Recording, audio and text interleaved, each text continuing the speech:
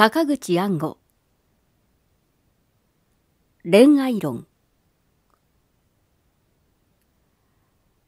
恋愛とはいかなるものか。私はよく知らない。そのいかなるものであるかを一生の文学に探し続けているようなものなのだから。誰しも恋というものに突き当たる。あるいは突き当たらずに結婚する人もあるかもしれない。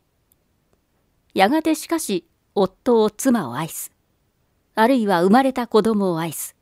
家庭そのものを愛す。金を愛す。着物を愛す。私はふざけているのではない。日本語では恋と愛という語がある。いくらかニュアンスが違うようだ。あるいは二つを随分違ったように返したり感じたりしている人もあるだろう。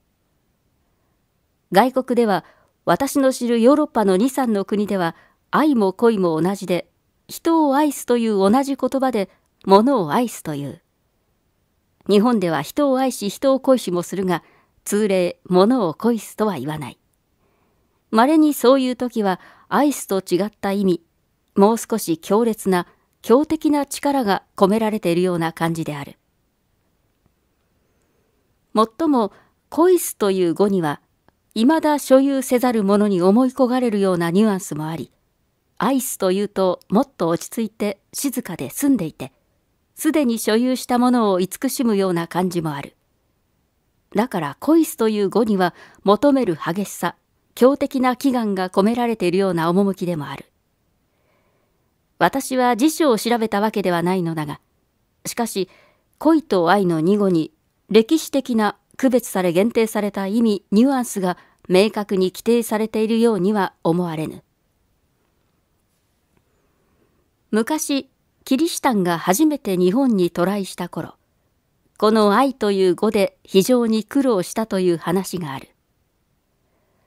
あちらでは愛すは好むで人を愛す物を愛す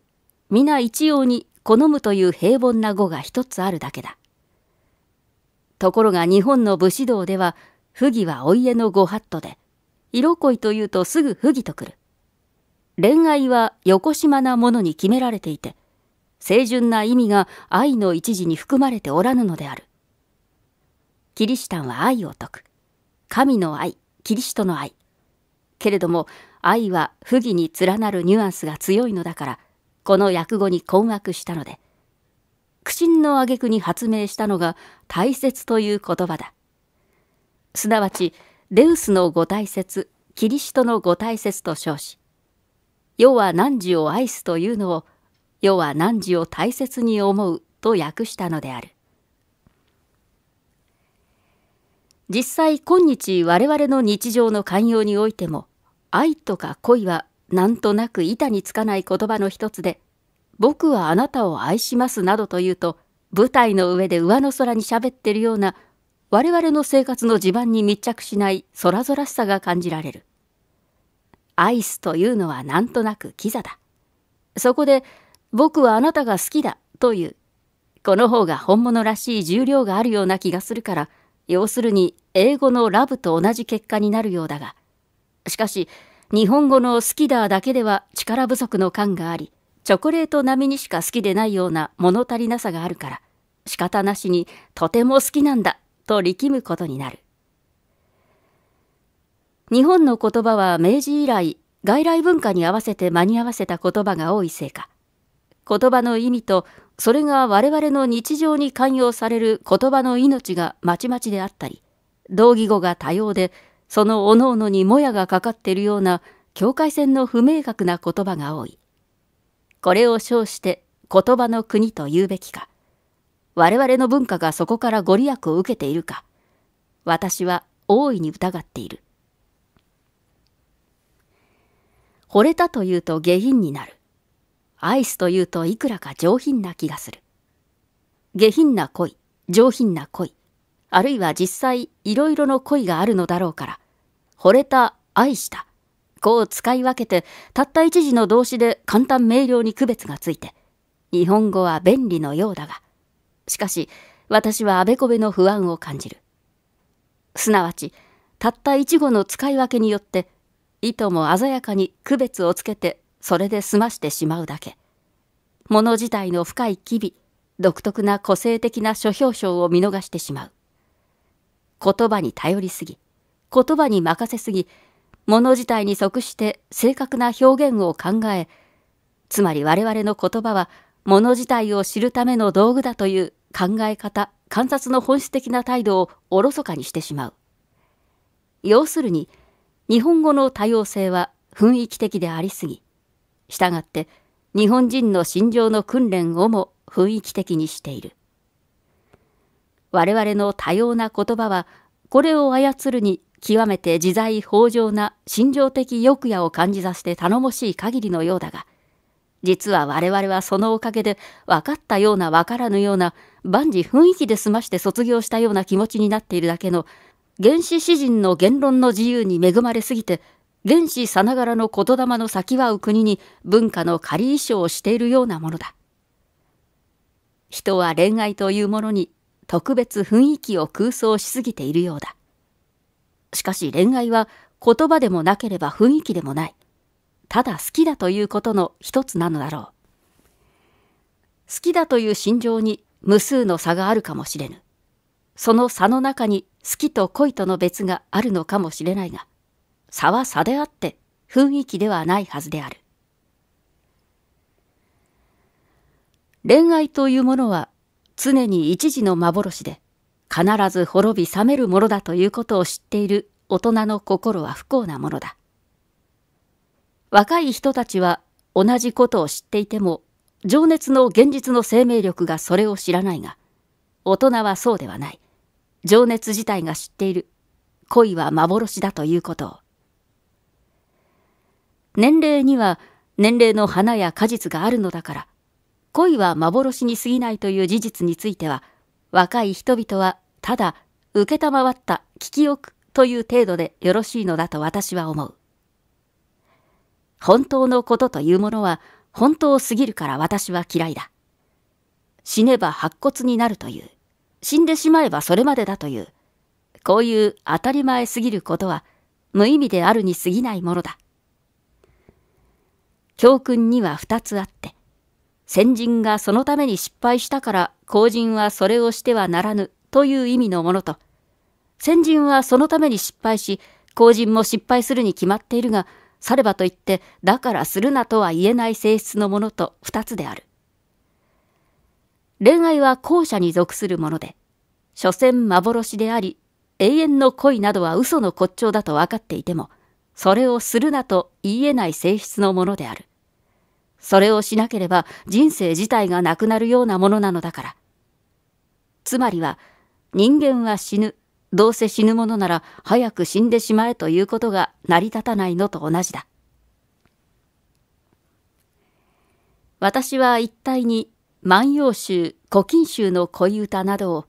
心情が素朴純粋に吐露されているというので高度の文学のように思う人々、そういう素朴な思想が嫌いである。極端に言えば、あのような恋歌は動物の本能の叫び、犬や猫がその愛情によって吠え泣くことと同段で、それが言葉によって表現されているだけのことではないか。恋をすれば夜も眠れなくなる。別れた後には死ぬほど苦しい。手紙を書かずにいられない。その手紙がどんなにうまく書かれたにしても、猫の鳴き声と所詮は同じことなので、以上の恋愛の層は万代不益の真実であるが、真実すぎるから特に言うべき必要はないので、恋をすれば誰でもそうなる。決まりきったことだから勝手にそうするがいいだけの話だ。初恋がそうなのではなく、何度目の恋でも恋は常にそういうもので、特恋は失恋と同じこと、眠れなかったり死ぬほど切なく不安であったりするものだ。そんなことは純情でも何でもない。一、二年のうちにはまた別の人にそうなるのだから。私たちが恋愛について考えたり、小説を書いたりする意味は、こういう原始的な普遍な心情の当たり前の姿を突き止めようなどということではない。人間の生活というものは命名が建設すべきものなのである。命名が自分の人生を一生を建設すべきものなので、そういう努力の歴史的な足跡が文化というものを育て上げてきた。恋愛とても同じことで、本能の世界から文化の世界へ引き出し、命名の手によってこれを作ろうとするところから問題が始まるのである。A 君と B 子が恋をした。二人はおのおの眠られぬ。別れた後では死ぬほど苦しい。手紙を書く。泣き濡れる。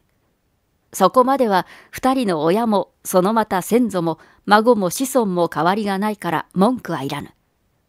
しかしこれほど恋し合うご両人も二三年後にはご多分に漏れずつかみ合いの喧嘩もやるし別の面影を胸に宿したりするのである。何か良い方法はないものかと考える。しかし大概そこまでは考えない。そして A 君と B 子は結婚する。果たして例外なく検体し、あだ心も起きてくる。そこでどうすべきかと考える。その回答を私に出せと言っても無理だ。私は知らない。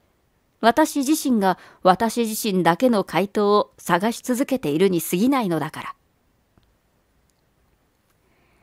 私は妻ある男が夫ある女が恋をしてはいけないなどとは考えていない。人は捨てられた一方に同情して捨てた一方を憎むけれども、捨てなければ捨てないために捨てられた方と同化の苦痛を忍ばねばならないので、なべて失恋と特恋は苦痛において同化のものだと私は考えている。私は一体に同情は好きではない。同情して恋を諦めるなどというのは第一暗くて私は嫌だ。私は弱者よりも強者を選ぶ。積極的な生き方を選ぶ。この道が実際は苦難の道なのである。なぜなら弱者の道は分かりきっている。暗いけれども無難で精神の大きな格闘が不要なのだ。しかしながら、いかなる整理も決して万人のものではないのである。人は各々個性が異なり、その環境、その周囲との関係が常に独自なものなのだから。私たちの小説がギリシャの昔から証拠りもなく恋愛を堂々巡りしているのも、個性が個性自身の解決をする以外に手がないからで、何か万人に適した規則があって恋愛を割り切ることができるなら、小説などは書くようもなく、また小説の存する意味もないのである。しかし、恋愛には規則はないとは言うものの、実はある種の規則がある。それは常識というものだ。または因習というものである。この規則によって心の満たされず、その偽りに服しきれない魂が、いわば小説を生む魂でもあるのだから、小説の精神は常に現世に反逆的なものであり、より良き何かを探しているものなのである。しかし、それは作家の側からの言い分であり、常識の側から言えば、文学は常に両属に反するものだということになる。恋愛は人間永遠の問題だ。人間ある限り、その人生のおそらく最も主要なるものが恋愛なのだろうと私は思う。人間永遠の未来に対して、私が今ここに恋愛の真相などを語りうるものでもなく、また我々が正しき恋などというものを未来にかけて断じうるはずもないのである。ただ我々は、命名が、命名の人生を精一杯に生きること。それをもって自らだけの真実を悲しく誇り、いたわらねばならないだけだ。問題はただ一つ。自らの真実とは何かという基本的なことだけだろう。それについても、また私は確信を持って言い得る言葉を持たない。ただ、常識、いわゆる順風良俗なるものは真理でもなく正義でもないということで、順風良俗によって悪徳とせられること、必ずしも悪徳ではなく、順風良俗によって罰せられるよりも、自我自らによって罰せられることを恐るべきだ、ということだけは言い得るだろう。しかし人生は由来あんまり円満多幸なものではない愛する人は愛してくれず欲しいものは手に入らず概してそういう種類のものであるがそれぐらいのことは序の口で人間には魂の孤独という悪魔の国が口を広げて待っている。強者ほど大いなる悪魔を見争わざるを得ないものだ。人の魂は何者によっても満たし得ないものである。特に知識は人を悪魔につなぐ糸であり人生に永遠なるもの裏切らざる幸福などはありえない。限られた一生に永遠などとは元より嘘に決まっていて永遠の恋などと知人めかして言うのも単にある主観的イメージをもてあそぶ言葉のあやだがこういう私的陶酔は決して優美高尚なものでもないのである。人生においては死を愛すよりも現実を愛すことから始めなければならぬ。もとより現実は常に人を裏切るものである。しかし現実の幸福を幸福とし不幸を不幸とする植物的な態度はともかく厳粛なものだ。私的態度は不損であり空虚である。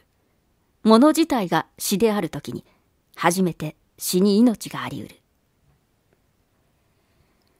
プラトニックラブと称して精神的恋愛を交渉だというのも妙だが肉体は軽蔑しない方がいい。肉体と精神というものは常に二つが互いに他を裏切ることが宿命で我々の生活は考えることすなわち精神が主であるから常に肉体を裏切り肉体を軽蔑することに慣れているが精神はまた肉体に常に裏切られつつあることを忘れるべきではない。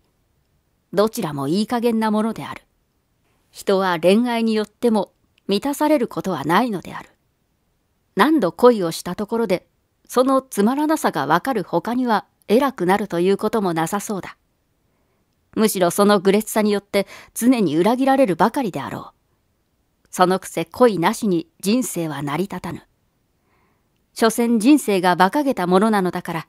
恋愛が馬鹿げていても恋愛の引け目になるところもない。馬鹿は死ななきゃ治らないというが、我々の愚かな一生において、馬鹿は最も尊いものであることもまた明記しなければならない。人生において、最も人を慰めるものは何か。苦しみ、悲しみ、切なさ。さすれば馬鹿を恐れたもうな。